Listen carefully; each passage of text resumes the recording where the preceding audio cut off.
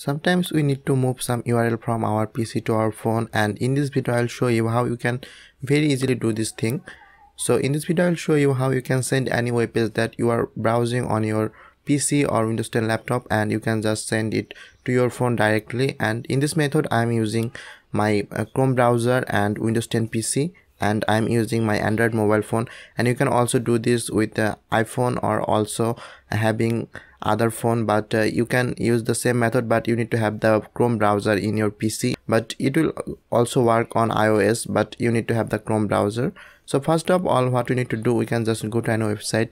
Like from here if i just uh, go to any website like i just search any i just go to google.com and yeah you can see this is google.com now if i want to send this paste to my phone what i need to do uh, in the latest version of chrome you will get this option but on the older version you will not get this function to do this you need to go to your url or address bar. If we if you can see there is no button right now here as we do not select the url box. But if i click on this and then you will see these two options. There is two method to send this url from your pc to your phone and this very easy. So first of all there is a uh, QR code uh, for this page. So when I click on this you can see there will pop up a QR code box and I can just use my mobile phone to scan this and directly I can access this page from my phone. This is a uh, not so good method because I need to open my phone and then again scan and then open the link. This is quite hard but there is a simple method that you can also use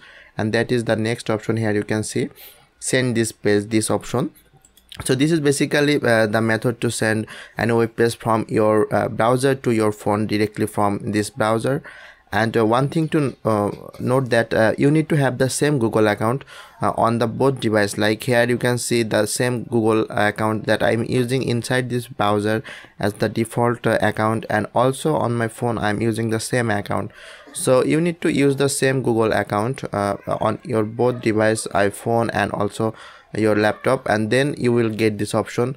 And so when uh, you will uh, click on any web page url and you you can just click on this button and then you can send on uh, send to your phone and it will automatically open and automatically already sent on my phone. I can now use this. It will automatically open in chrome browser.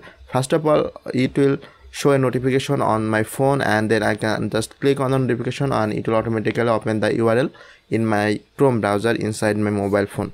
So this was the quick tutorials how you can uh, send any web page url uh, to your phone without um, just copy paste or any other things but uh, in a simple click using the chrome browser. So i hope you guys learned something new and if you learned something new please hit the like button and do subscribe to my channel for more videos like this. I'll see you guys on the next video